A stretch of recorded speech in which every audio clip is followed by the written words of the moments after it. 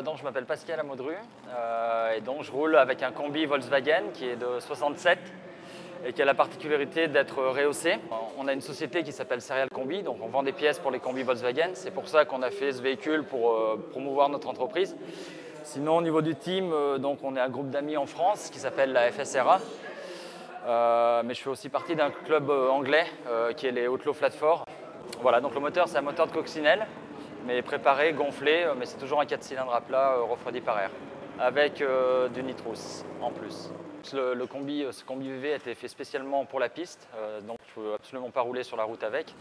Et le moteur c'est pareil, il ne pourrait pas aller au-delà de 400 mètres. Quand j'arrive au bout de 400 mètres, je suis à fond de régime, donc je suis obligé de, couper. Pour l'instant, mon meilleur temps c'est 12 secondes 54. Et je finis à pas loin de. Je suis à 178 km/h euh, au bout de 400 mètres. Le circuit est magnifique, donc euh, c'est une piste de légende, donc c'est quand même euh, génial de pouvoir faire une course de run ici. Si la course pouvait se faire chaque année, oui, c'est certain que ça porterait beaucoup au drag en France. moi, je me déplace très souvent à l'étranger, en Belgique, en Allemagne, en Angleterre.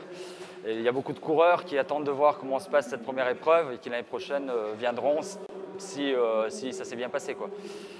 Eh ben, la ligne droite est euh, magnifique, c'est très sécurisant de rouler ici.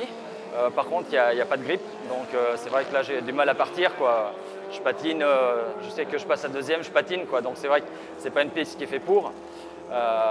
donc ça sera, ça sera un petit peu le point faible. Après, c'est un petit peu dommage pour le spectacle. C'est vrai qu'on pourrait aller beaucoup plus vite tous s'il y avait du grip au départ, mais bon, voilà, faire avec.